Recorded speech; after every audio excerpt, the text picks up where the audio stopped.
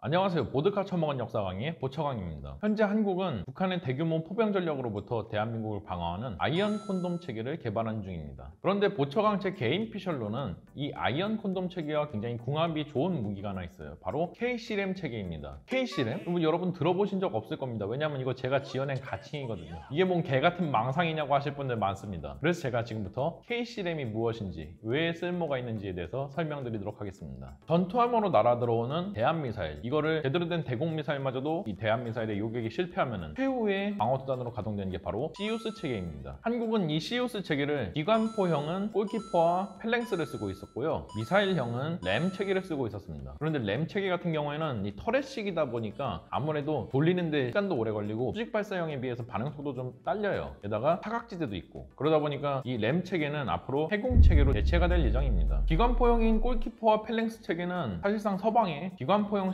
CIWS 시장을 양분한 체계라고 볼 수도 있습니다. 그러나 팰렁스가 1위였고요. 골키퍼가 2위였거든요. 근데 이 2위인 골키퍼가 판매량이 그렇게 좋지가 않았어요. 그렇기 때문에 이게 손쉽게 단종이 되어버립니다. 규모의 경제를 이제 유지할 수가 없게 되다 보니까. 저게 대함미사일이 날아올 때 그 회피 기동을 자동적으로 계산해가지고 자동 요격을 해주는 이 알고리즘 업데이트가 굉장히 중요한데요. 이 업데이트가 굉장히 지연이 되고 있고 또 후속 군수 지연도 여러모로 어려운 상황입니다. 그렇게 해서 골키퍼는 골키퍼 나름대로 운영이 힘들어졌고 Phalanx는 자기네가 이제 독점 시장이 되었잖아. 그러니까 Phalanx 값을 두 배로 올려버렸고 또 부품 값이나 여타 다른 후속 군수 지원 체계 값도 두 배 이상 올려버렸습니다. 그래서 Phalanx는 Phalanx대로 또 운영이 어려워졌어요. 원래 우리나라가 국산 CIWS를 개발하려고도 했었는데 여기에 대해서 굉장히 시큰둥한 반응을 보였던 이유가 사실 이 CIWS 체계라는 게 굳이 개발을 해도 이게 전투함 한 척에 한두 세트밖에 안 들어가거든. 그래서 얼마 못 팔아먹어요. 이윤이 안 남아. 규모의 경제를 이루려면 굉장히 많이 팔아야 되는데 그러기 어렵단 말이죠. 그래서 한국 도 개발을 안 하고 있었거든요. 근데 이렇게 골키퍼는 골키퍼 나름대로 운영이 어렵고 Phalanx는 제작사가 폭리를 취하고 있으니까 그냥 더러워서 내가 개발해 쓴다 해가지고 시작된 게 바로 CIWS2 사업입니다. 왜 CIWS2 사업이냐고요? CIWS1이 있거든. 노봉이라고 40mm 쌍열폰인데 이걸 CIWS라고 부르기엔 조금 어려운데 이걸 왜 CIWS라 부르는지 모르겠네요. 일단 노봉 같은 경우에는 자체적으로 뭐 센서가 있는 것도 아니고 자동 교전이 가능한 것도 아니고 함의 중앙 전투 시스템과 연동이 돼가지고 공중 위협체를 요격하는 시스템 인데 대함 미사일에는 역시 대응이 어려운 그런 체계입니다. 뭐 신뢰성이 높은 것도 아니고 여튼 그렇게 해가지고 CIWS2 사업이 시작되었어요. 여기에 최종적으로 개발을 맡은 거는 LIG 넥스원이었습니다. 일단 모양새를 보자면 골키퍼의 현대화 버전이라고 보시면 됩니다. 골키퍼와 동일한 Avenger 30mm 개틀링 기관포를 사용하고 있고요. 연사력은 분당 4200발입니다. 탐색 레이더는 AESA 레이더 패널을 4개를 배치시켜놔서 하방, 전방위를 실시간으로 탐지할 수 있게 만들었고 그리고 추적 레이더는 중앙에 대형 AESA 패널 하나 만들어놔가지고 굉장히 뛰어난 실시간 추적 능력을 보여줄 수 있게끔 만들었죠. 그리고 여기에 들어가는 요격 알고리즘 자체도 상당히 고급화된 프로그램이 들어갈 거라고 저는 생각하고 있습니다. 왜냐하면 우리나라가 지금 현재 초음속 대함미사일 개발했잖아요. 이거를 토대로 초음속 대함미사일의 회피기동 패턴이나 혹은 어떻게 하면 잘 요격할 수 있는지에 대해서 실험을 진행한 다음에 이 데이터를 가지고 알고리즘을 만들 거기 때문이죠. 이거를 지상형으로 개조한 물건을 만들자는 게 제가 주장하는 KC램 시스템입니다. 이미 많은 선진국들이 전 투함에서 사용하는 시우스 체계가 반응 속도도 좋고 작은 물체도 잘 요격한다는 장점이 있어가지고 이미 지상형으로 개조해서 군사기지 방어용이나 혹은 기관시설 방어용으로 많이 사용하고 있거든요. 대표적으로는 펠랭스를 개조해서 지상형으로 쓰는 C램 체계가 있죠. C램 체계는 이라크에서 반군들이 발사하고 튀는 박격포탄이나 혹은 로켓탄들을 굉장히 효과적으로 막아내면서 이름 날렸습니다. 심지어 2020년에는 미군이 이란의 슬레이만이라는 장군을 암살하면서 이란이 보복으로 이라크에 있는 미군 기지에 탄도미사일 세례를 가했는데요. 여기서 C램이 그중 한 발을 요격해내는 미친 성능을 보여주면서 C램의 전술적인 효과가 엄청나다는 걸 보여줬죠. 물론 굉장히 운이 좋아서 막은 겁니다, 이거는. 왜냐면은 낙하하는 탄도탄의 속도는 기본 마하 3이거든요. 근데 C램의 최대 대응 속도가 순항하는 물체의 경우 마하 2.5까지고요. 한도계적으로 떨어지는 물건은 마하 3 정도입니다. 그래서 굉장히 운 좋게 막아냈다고 볼 수 있죠. 어쨌든 이렇게 지상에 배치된 C램 체계는 해상에서와 마찬가지로 톡히 그 역할을 해내고 있습니다. 그래서 한국형 C램 체계를 개발해가지고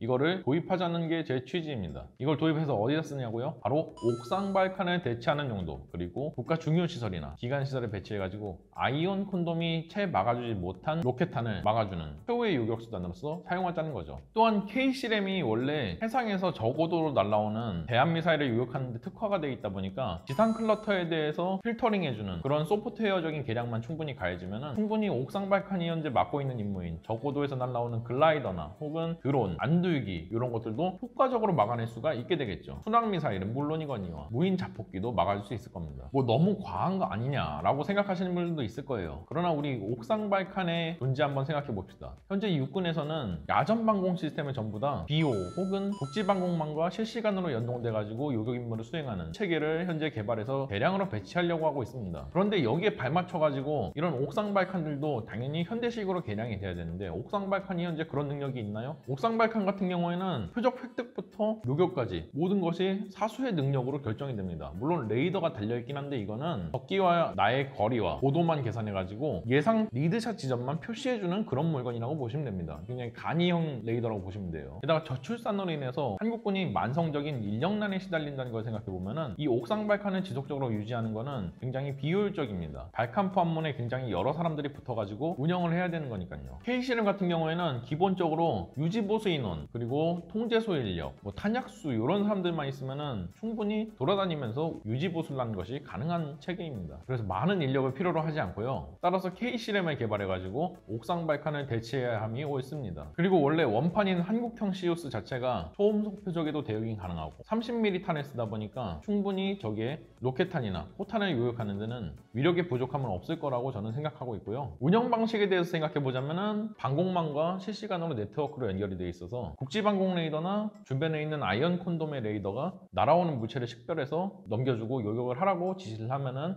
통제소가 알아서 각 K-CRAM의 레이더 패널을 키게 해가지고 자동 탐색을 해서 요격을 하게 하는 방법입니다. 그리고 전력 공급 모듈을 따로 각 세트별로 두 대, 평소에는 주변 건물이나 올라가 있는 해당 건물에 전력을 끌어다가 쓰게끔 연결을 해두고 전시에 만약에 전력 공급이 건물로부터 끊기게 되면은 그때 전력 공급 모듈이 돌아가면서 전력을 공급할 수 있게끔 하면 됩니다. 이렇게 만들면은 전술 적 유연성도 높아지고 유지비도 절감이 되겠죠. 게다가 이거를 대량 도입하면은 우리가 CIWS 시장 자체가 작다 보니까 규모의 경제를 이룰 수가 없다는 불안감을 우리가 K-CRAM 시스템을 많이 삼으로 인해서 종식시킬 수가 있어요. 현재 한국형 CIWS는 해외로 대량 수출되지 않는 이상은 뭐 KDDX 6척, FFX Batch 4 6척 뭐 이런 거 다 합해봤자 끽해봐야 18세트밖에 생산이 안 될 것 같거든요. 차후 한 10년 동안 말이지. 이 정도 판매량 가지고는 그간의 규모의 경제를 못 이뤄 가지고 업그레이드나 후속 군수 지원에 제한이 있었던 골키퍼보다 훨씬 더 못 미치는 판매량이다 보니까 굉장히 문제가 클 거란 말이죠. K-CRAM을 도입할 경우에는 옥상 발칸 대체 수요 플러스 Iron 콘돔을 보조해서 요격 임무를 수행할 그런 목적으로 80세트 이상을 도입을 하게 되니까 그간의 골키퍼 판매량을 단숨에 따라잡을 수 있습니다.